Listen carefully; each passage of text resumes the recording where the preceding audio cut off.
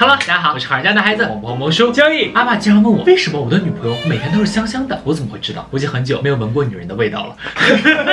今天我就要揭秘，女孩子的体香其实都是腌出来的，腌出来的，这样比较入味。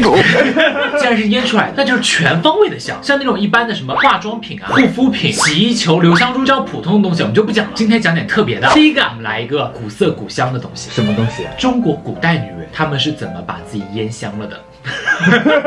今天给大家找到的一个是香丸，香丸是什么？就是它里面的，把所有的香料，它不是做成液体的形状，而是搓成了一颗颗的小珠子。我选这个味道是龙涎香，哇，听名字很古韵。传说啊，龙的口水。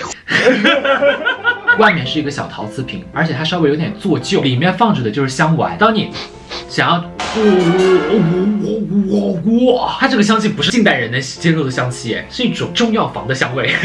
我觉得是古代人的品味的那种香气，你闻闻看。是不是有点中药的感觉？中草药的香味儿。对，如果家里要传递出这样的香气的话，其实你家里面搭配一个古色古香的书房，然后呢，每天晚上没事做的时候呢，就喝一杯茶，然后呢，写写毛笔字，弹一弹琵琶、古筝什么的。当然，还有个更加古色古香的是，你除了可以把它当做一个摆台放在桌子上，还可以把它当做一个装饰物随身带在身上。这是什么？香丸手串。你可以把你的香丸放在这样一个小容器里面。而我觉得这个有些喜欢古风的女生会很喜欢。对，现在很多人喜欢汉服。穿汉服的女生拿一个这个在身上，你的举手投足之间都是香气芬芳，很漂亮。而且我给大家选的这个是景泰蓝发廊的工艺，所以就会很贵气。每天出门的时候，你可以拿一颗香丸放在里面，然后盖上去，把这个手串戴在手上，还蛮漂亮的。紫霞仙子是吧？这个我感觉我妈会很喜欢。你在秋冬天的时候，你可以放一些稍微温柔一点点的香味。那你在夏天的时候，你就可以里面放点驱虫的东西。对对对，这个我觉得这个设计很好，你放什么都能放啊。而且它就有点像是什么，你知道吗？珠宝品牌潘多拉，就是你这上面可以串无数个串子，里面都加上香囊，你的味道就是可浓可淡，淡妆浓抹总是你。下一个，蒂普提克固体香水。体香水，这个香水非常非常的红，你听过这个牌子吗？没有啊。哦，这个香水不便宜哦，喜欢了吗？它是一种固体浮雕的设计，很有很有质感。这个你拿到手上那一刻，你就会觉得哇，沉甸甸的，很有分量，就觉得这笔钱花的值。它的开口是有个小磁扣的，你听到这个清脆的声音了吗？非常非常的高级，感觉是那种中世纪的贵妇会用的香膏。我选的这个固体香水的味道叫做杜桑，杜桑具体是个啥呢？我也不知道。但是杜桑就是一个很有故事的味道，闻起来的时候有一点点的茉莉香，也有一点点白玉兰的香气。它不是一个十几岁女生的味道，就像张曼玉是吧？对，张曼玉、林志玲我都可以。我不准。你有女朋友了？高原也行。我不准。你来闻闻看。我们抠一坨，不行，贵。它的味道是那种花朵自然绽放出的香气，而且这种固体香膏留香时间比普通的香水更加长。你就想象一下，在冬天凛冽的寒风中，你把这个香膏抹在自己的手腕、耳骨、锁骨的地方，就仿佛穿越到了民国时期大上海的梧桐树下，非常非常的知性。你女朋友身上就少一点这样的女人味。对不起，我看到了一把刀。下一个上一个大牌，GUCCI 香水走珠。我们现在已经开始送这种高端货了。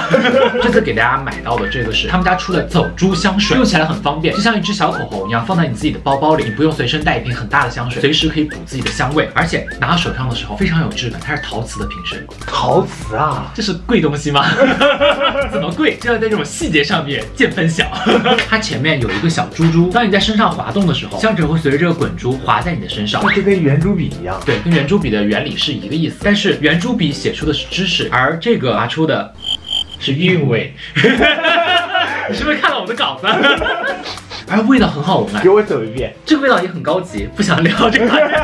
味道很高级，也是淡淡的花香，又高级又疏远，而且沉稳低调，清新的不行，给你一种感觉，好像自己喷了香水，好像又没有喷。它就是传说当中的，我自己给它造了个词，叫啥？素颜香水。就好像这个香水是从你自己的身体当中，随着你的汗液慢慢的散发出来的那种味道，忍不住想抱一下，忍不住想加个微信。而这个味道，男生觉得舒服的味道，看价格，我就舒服，舒坦。哭泣的能不舒坦吗？你不要觉得自己不配，在我心目中，你就是配得上哭泣的人。真的吗？甚至你配得上用哭泣的女人。哇，你就是可是我不想付钱。那不行。哎，我很好奇，它这个盖子能不能打开，然后我自己在里面加上水，就是替换装。没关系，用完了我再给你们买。下一个樱花漱口水，这个是我看到过最粉嫩的漱口水。那樱花味儿能遮住臭味吗？女生本来也不臭啊，她们就是想要嘴巴里甜甜的，然后你知道，享受的还不是你。这个漱口水闻起来是一股果汁的味道会不会漱着漱着把它喝掉啊？啊，建议大家不要喝。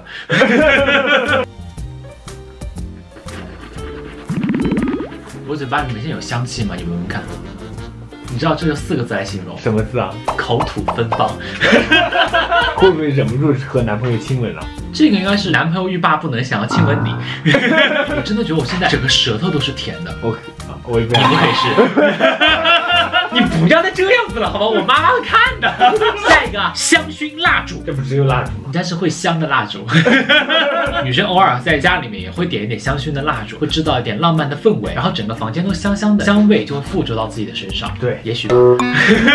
但是这样一个香薰蜡烛稍微有点点普通，像我这样一个浮夸的人，然后呢？我给它配了一座埃菲尔铁塔，点燃之后，你把这埃菲尔铁塔罩子盖在上面，然后呢，上面的这个小铁塔它会转。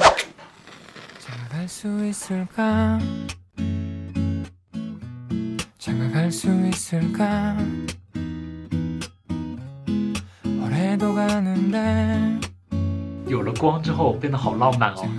你有没有觉得点燃之后，就整个房间里面会氤氲出一种浪漫的氛围，就感觉身体中的荷尔蒙在慢慢的分泌？和你啊，我自己 想要有一个人一起跳舞，和我啊。你不行，我觉得女生在家里面点这个的时候还蛮浪漫的，但是你们还是要注意安全，毕竟是可燃物。除了埃菲尔铁塔以外，马上圣诞了，我还会给大家送一个雪花造型的香薰。